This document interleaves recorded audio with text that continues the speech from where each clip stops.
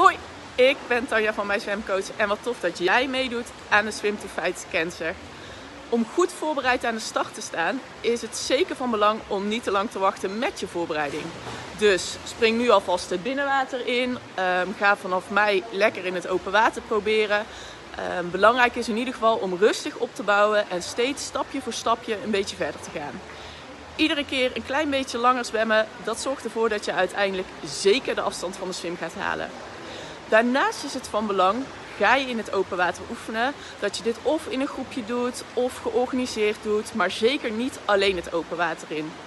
Vergeet daarnaast je boei niet. Een fijn hulpmiddel en om je autosleutels in te doen, uh, een ID-bewijs in te doen. Maar zeker ook om ervoor te zorgen dat mocht je niet lekker worden of toch iets te zwaar zijn, dat je altijd uit kan drijven. En dat je niet op je buddy hoeft te gaan hangen, maar dat je op je boei kan gaan hangen. Daarnaast is het van belang als je het open water ingaat om altijd met een badmuts te zwemmen.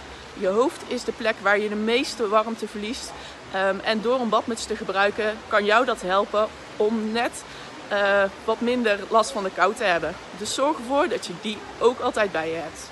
Nou, op www.mijnzwemcoach kun je nog een hele lading aan tips, trucs en informatie vinden. Um, mocht je naar aanleiding daarvan nog vragen hebben, schroom dan niet om ons te mailen. En wij gaan je helpen om zeker die 2 kilometer te halen. Heel veel succes met de voorbereiding en maak er vooral een super toffe dag van. Hoi!